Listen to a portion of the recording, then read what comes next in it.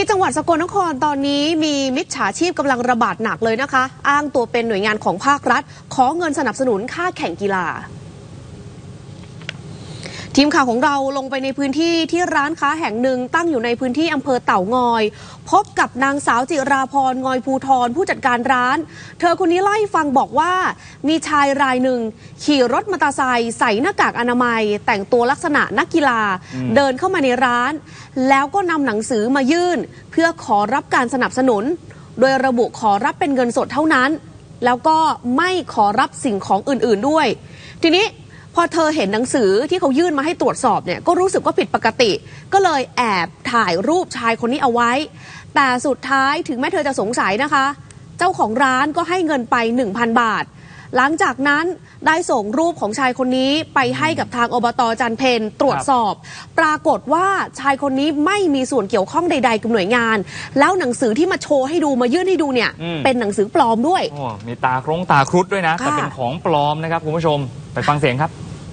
หนูก็เลยเอะเอะใจแล้วทีนี้เออหนูก็เลยถ่ายรูป ถ่ายรูปอะแอบถ่ายข้างหลัง ถ่ายรูปแกน่ะ อืม ถ่ายแล้วทีนี้หนูก็เลยส่งไปหาเพื่อนที่ทำงานอบตจันเพนถามเพื่อนดูว่า รู้จักคนนี้ไหม เพราะว่าหนูก็พอเดาออกอยู่นะว่า เออ ใครหนูก็เอ๊ะหนูก็ไม่เคยเห็นเหมือนกันเออหนูก็เลยถามเพื่อน เพื่อนก็เลยไม่ตอบหนูก็เลยโทรไป บอกว่า ดูให้หน่อย คนในรูปนะใช่เจ้าหน้าที่อบตจันเพนไหมอืมเขาก็เลยบอกว่า ไม่รู้ไม่เคยเห็น หนูก็เลยบอกว่า มีเอกสารมาที่ร้าน มามาบอกว่ามีแข่งขันกีฬาอืมมาขอสนับสนุน เอ้ยเขาก็เลยบอกว่า เขาก็เอะใจแล้วว่าไม่มี คุณผู้ชมดูหนังสือที่มิจฉาชีพรายนี้